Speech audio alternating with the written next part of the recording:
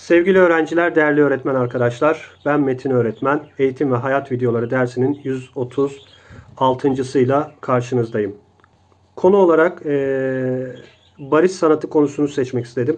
Ülkemizin e, hali hazırdaki durumunda birilerinin birleştirici rol oynaması lazım. Sonuçta birlikte yaşıyoruz, birlikte güzeliz, birlikte güçlüyüz. Aynı bir ağacın, Türkiye ağacının farklı dallarıyız, farklı e, çiçek açan e, uzantılarıyız. Çiçek açmalıyız. Bize e, bu ayrıştırma, birbirimize karşı düşmanlaştırma e, birilerinin işine yarar. Biz birlikte yaşayacağız, birlikte yüz yüze bakacağız. O yüzden e, herkesin bir siyasi fikri olduğunu biliyorum. Benim de bir siyasi fikrim var. Bunlara çok girmeden e, daha çok işte nasıl diyeyim birleştirici rol adı altında sizlere bir şeyler aktarmaya çalışacağım. Çünkü dediğim gibi e, farklılıklar çatışma sebebi değil. Farklılıklar nasıl diyeyim birbirimizi e, görme adına. Yani çünkü düşün, düşünsenize hepimiz aynı olsaydık. Hepimiz aynı düşünseydik. Aynı kitapları okusaydık. Aynı çiçekleri koklasaydık. Aynı şeylerden zevk alıyor olsaydık.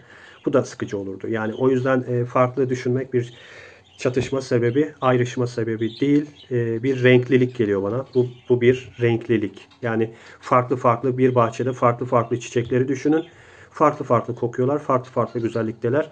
Biz burada bize düşen şey, e, iyimser olarak söylüyorum, bize düşen şey birbirimizi kırmadan, çünkü kalp kırmak, Kabe yıkmak kadar önemlidir. Her iki kesimde farklı yönleri var.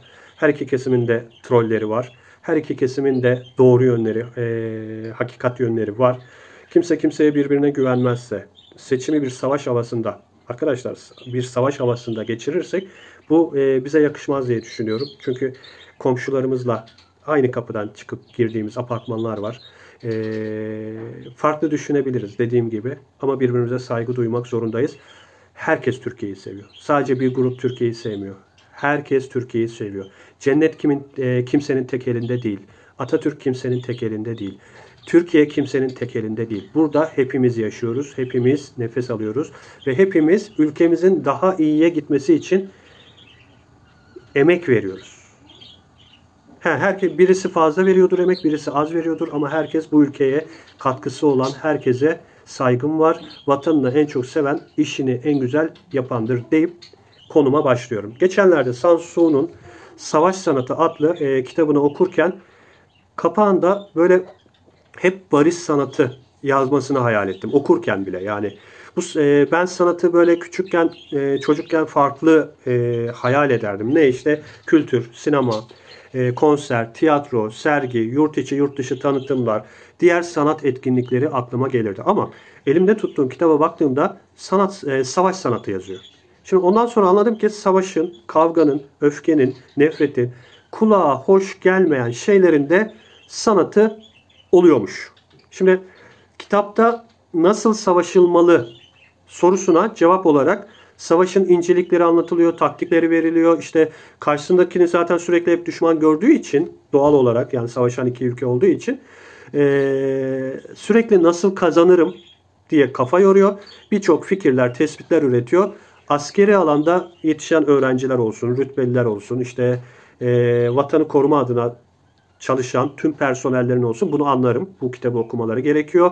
Ne kadar bilgi varsa araştırmaları gerekiyor. Okuyabileceği bir eser tavsiye ederim. Buna kabul. Ama ben ise şöyle bir dünya hayal ediyorum. Yani hiçbir kavga olmasın, savaş olmasın.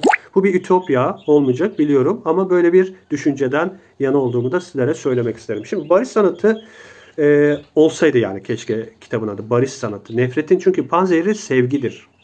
Yani biz sevmekle başlar. Siz hiç tanımadığınız, görmediğinizse bir sevgi akışı olur. Neden? İşte paylaşımlarından bir sevgi akışı olur. İşte e, konuşmasından, üslubundan bir sevgi akışı olur. Şimdi insanoğluna bakıyorum kendi ırkını sabah akşam düşünerek, plan yaparak öldüren tek ırk ne? İnsanoğlu. Dünyanın böyle her gün bir yeri kanarken daha fazla insanı nasıl öldürebilirim? Daha fazla nasıl can çekiştirebilirim? Acı çektirebilirim? Hep bunun azminde. Kimler bunun azminde? Kabil ruhlu insanlar. Kabil ruhlu insanlar.